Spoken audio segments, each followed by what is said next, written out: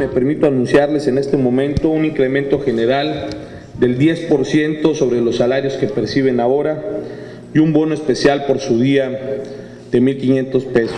El primer año de mi gobierno me comprometí al que al finalizar mi administración íbamos a tener un incremento del 100% a como yo recibí los sueldos de la Policía Estatal.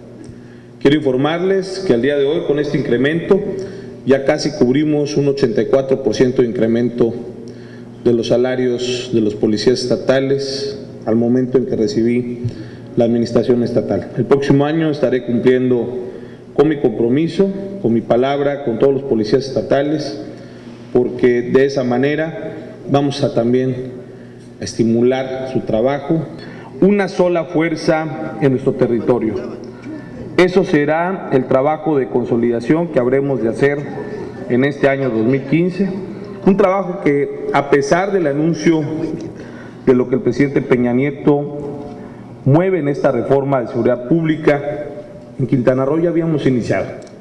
Ya habíamos iniciado con el proyecto de mando único policial. Ahora iremos a la consolidación con la Fuerza Policial Única de Quintana Roo. Y ello servirá para coordinarnos mejor. Todos los policías bajo un solo mando